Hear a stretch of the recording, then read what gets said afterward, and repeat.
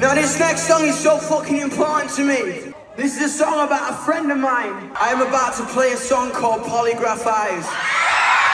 And this song is a story that cuts so close to the bone. And I just want to say to everybody out there, no matter how much you drink, no matter how fucking short a skirt you want to wear, no matter how much fucking fun you want to have, that does not mean consent. And I know a lot of you have had things happen to you. But when I play this song, when I played this for the past five years, the strength you have shown me has fucking inspired me. Do not let this define you. Your power is alone.